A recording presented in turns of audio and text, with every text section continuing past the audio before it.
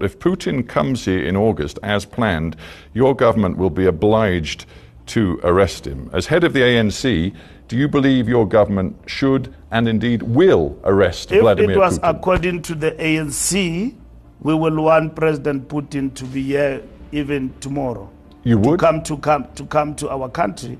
But You uh, would welcome Vladimir Putin here Of right now. course would we will A man who is being investigated for war crimes by the international. we will welcome Court. him to come here as part and parcel of BRICS, but we know that we are constrained by the ICC in terms of uh, doing that.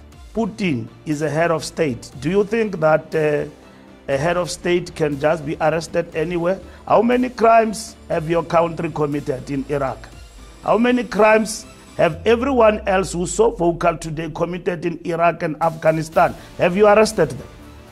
You have know, you know the impact that You're this stand making a lot of noise about putting a state of working for peace between Ukraine and Russia, and you failed to resolve the war. Where are the weapons of mass destruction?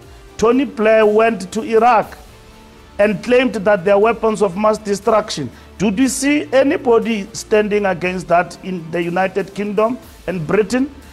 More than uh, millions of people have died in Iraq and Yeah. Afghanistan, and there are no weapons of mass destruction.